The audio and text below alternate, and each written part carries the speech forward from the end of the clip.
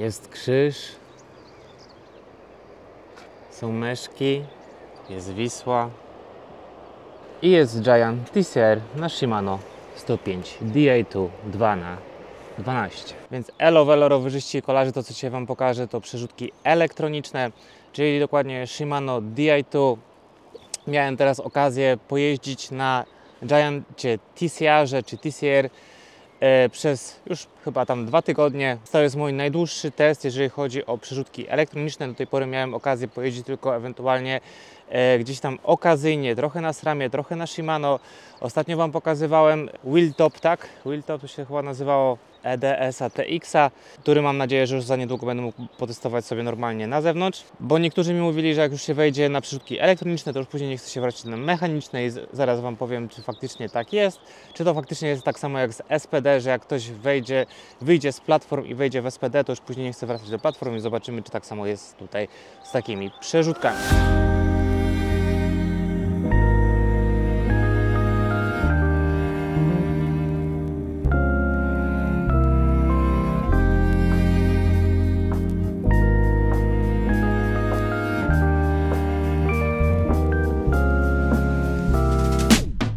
Przejdźmy na razie może do aspektów wizualnych i takich ogólnie specyfikacji technicznej.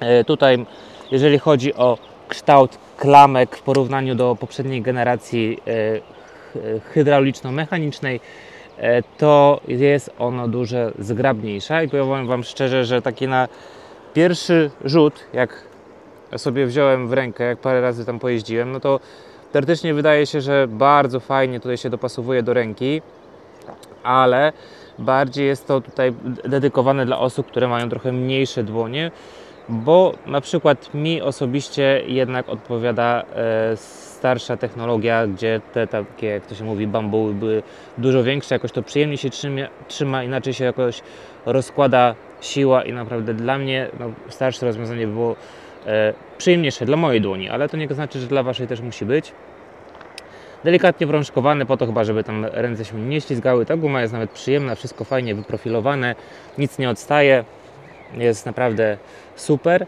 Jeżeli chodzi o e, przyciski, no to jest to, przyciski można sobie oczywiście tam w przeróżny sposób konfigurować. Mam tutaj takie standardowe rozwiązanie, które jest adekwatne do poprzednich lat, czyli po prostu e, e, ten bliższy przycisk, gdzie wcześniej służyło to jako całość, przesunięcie, no to wtedy nam podciąga przerzutkę, a tutaj nam zrzuca, żeby było ciężej, czy tam szybciej.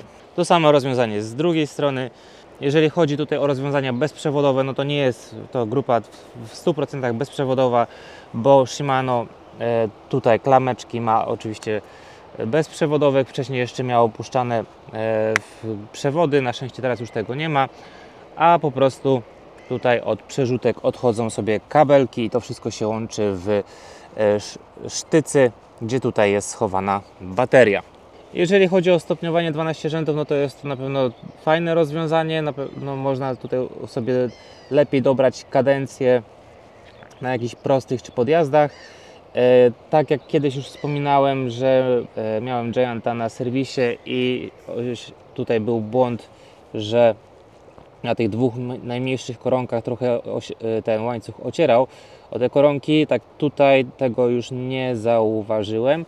E, Wszystko jest zależne od tego, jaką już macie kasetę, bo są kasety już chyba tam delikatnie poprawione i są jeszcze starszego typu. Z aspektów wizualnych to grupa ładna. E, Jeżeli chodzi na przykład o tylnią przerzutkę, to już taka widać, że jest bardziej nowoczesna. Przednia przerzutka dosyć spora w porównaniu do przerzutki takiej mechanicznej. Jeżeli chodzi o wagę, to się zdziwiłem, bo myślałem, że rozwiązania elektroniczne są dużo cięższe niż e, poprzednie wersje e, mechaniczne, ale jak już sobie wcześniej porównywałem, to akurat Shimano e, 105 Di2 wraz z baterią, która jest w sztycy, wychodzi lżej na pewno niż SRAM i na pewno lżej niż rozwiązanie mechaniczne, więc to jest na pewno na plus. Dobra, przejdźmy teraz może do działania. Jakiś czas temu zauważyłem, że jeden kanał próbuje jakby na siłę pokazać, że o kupujcie przerzutki elektroniczne, bo one działają dużo, dużo szybciej.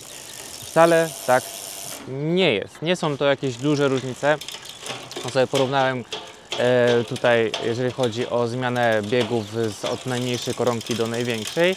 I to wcale nie trwa tak długo, jak e, inni próbują Wam to jakby tam pokazać, że o, takie są fajne. Oczywiście działa to przyzwoicie.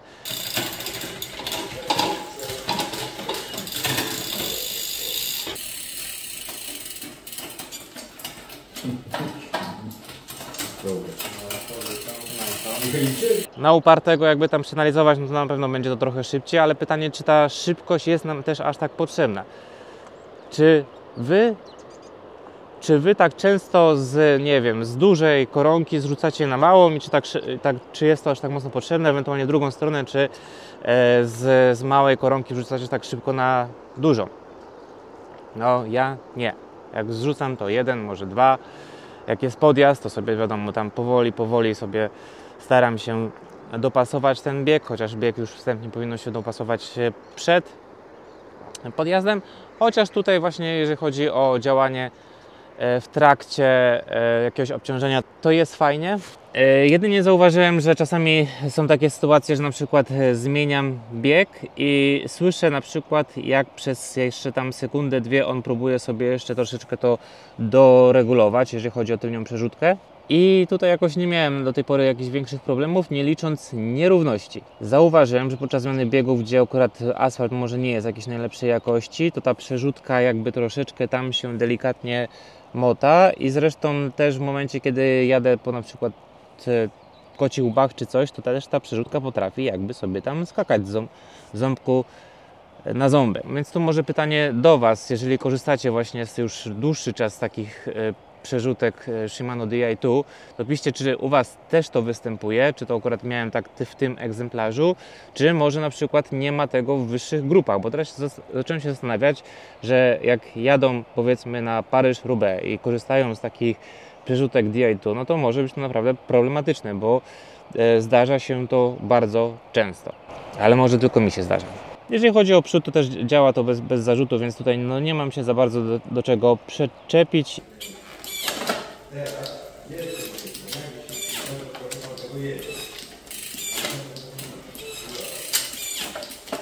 Może przejdźmy do plusów i minusów w ogóle takiego rozwiązania, bo to nie ma co za dużo się rozwodzić. No, na pewno dla mnie ogromnym plusem jest to, że w dolnym chwycie mogę bez problemu sobie e, zmienić biegi, bo przy dolnym chwycie, jakbym chciał na przykład pociągnąć sobie gdzieś tam na podjeździe e, całością, to jest to już trochę niewygodne, a tutaj na przykład plusem faktycznie jest to, że możemy sobie ten bieg jednym kliknięciem e, zmienić. Kolejnym plusem jest to, że łatwiej jest na przykład w niektórych rowerach e, zrobić takie e, no jakby pewną integrację kierownicy, że nie, nie mamy tych dodatkowych przewodów, że idzie nam tylko od przewód hydra, hyd- hydrauliczny i że nie trzeba będzie gdzieś tam to jakoś mocno upychać.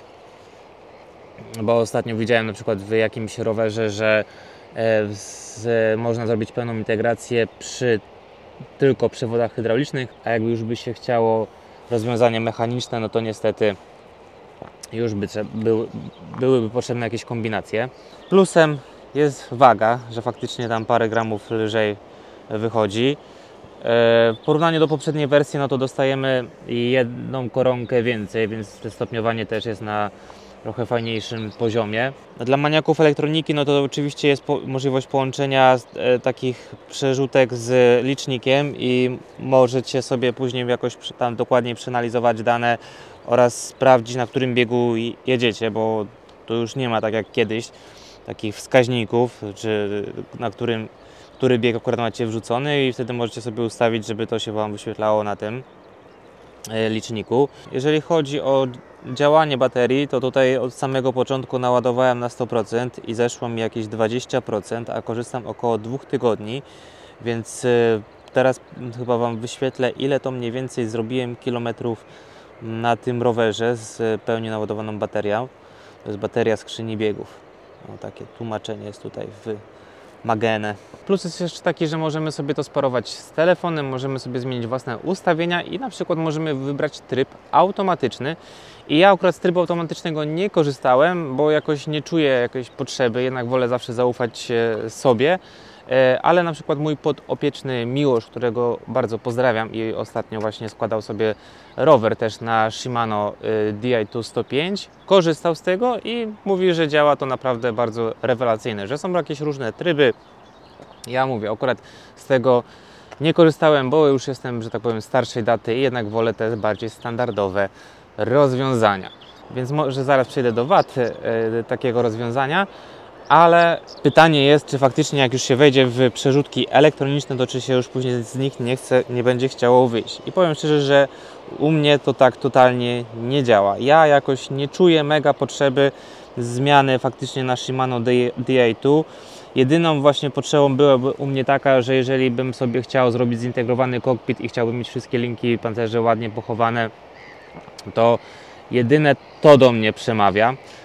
Eee, no i może troszeczkę waga, ale to naprawdę tylko troszeczkę, bo to są setki gramów różnicy, tam nie wiem, 100, 200, 300, to nie jest jakaś tam mega wielka różnica.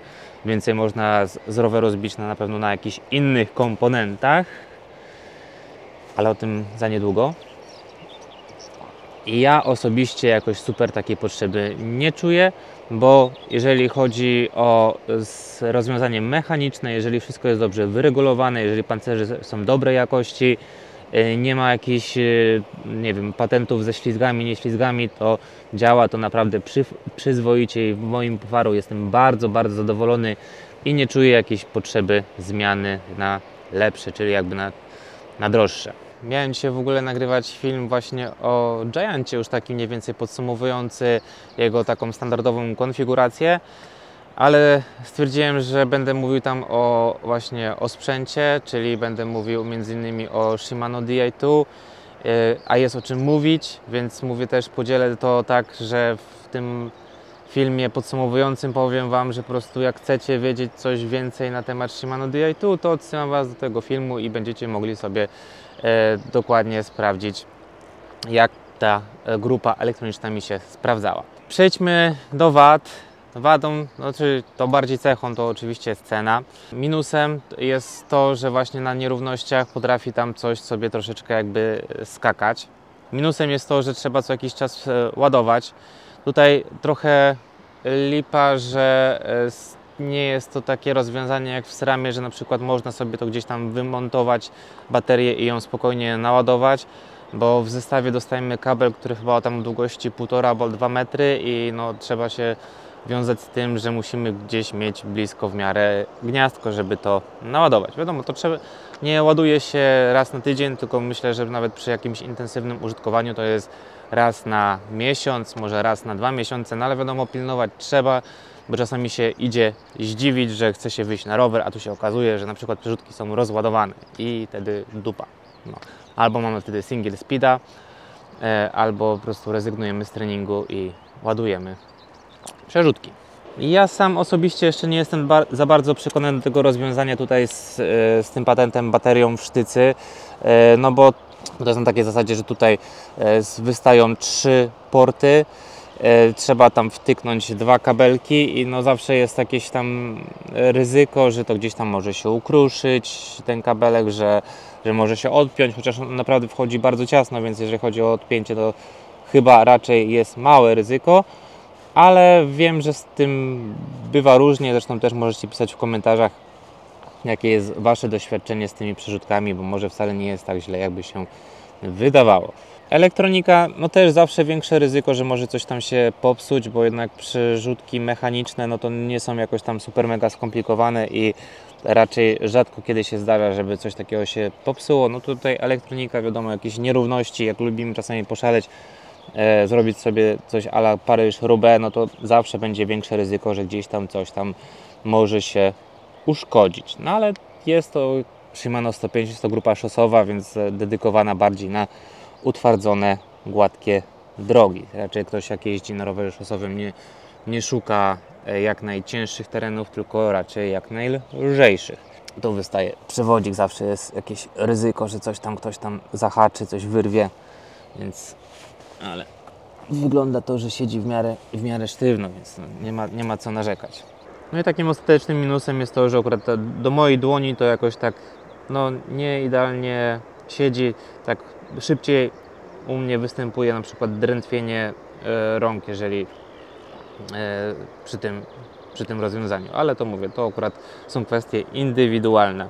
Też na pewno trochę bardziej boli w momencie, kiedy uszkodzi się taka, taka powiedzmy manetka przy jakiejś kraksie czy coś, no boli później przy wymianie, jeżeli chodzi, ale mniej boli, jeżeli chodzi o kabelki, bo tylko wtedy wystarczy odpiąć tutaj przewód hydrauliczny, wymontować, zamontować nową, podpiąć z powrotem i będzie działać dalej. Nie trzeba kombinować znowu prowadzeniem tam kabli tego, no ale i tak trzeba e, owijkę zdejmować.